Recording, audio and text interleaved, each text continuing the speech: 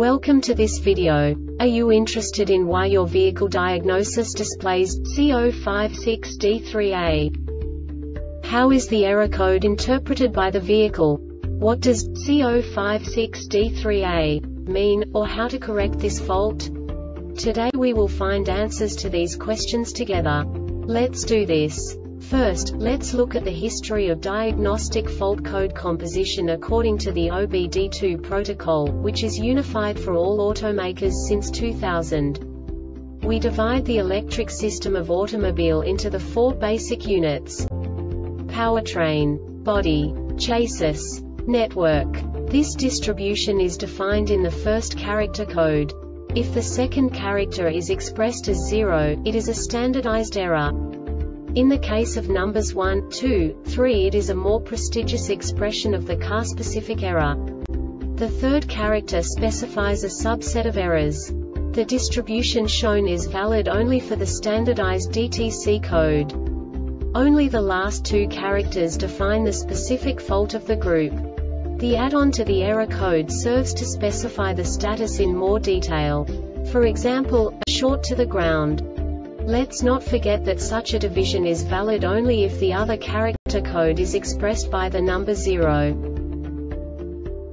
Our website airbagreset.sk produces useful videos for you. You do not have to go through the OBD2 protocol anymore to know how to troubleshoot any car breakdown. You will find all the diagnostic codes that can be diagnosed in a Pontiac vehicles. Also many other useful things.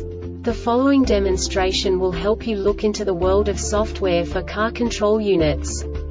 You unbelievably can move the video a bit further. The error code is split into two bytes consisting of 16 bits. One bit is the basic unit that each computer works with. The bit has two logical states.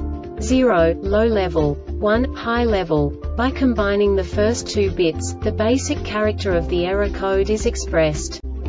The next two bits again determine the second character. The last beat styles of the first byte define the third character of the code. The second byte is composed of a combination of 8 bits. The first 4 bits determine the fourth character of the code. And the combination of the last 4 bits defines the fifth character. A single byte conceals 256 possible combinations. We now know in what way the diagnostic tool translates the received information into a more comprehensible format. The number itself does not make sense to us if we cannot assign information about it to what it actually expresses. So, what does the diagnostic trouble code C056D3A interpret specifically Pontiac car manufacturers? The basic definition is front driver door ajar signal to MTA command circuit short to battery. And now this is a short description of this DTC code. When the module is powered the system voltage is greater than 90 volts and less than 160 volts.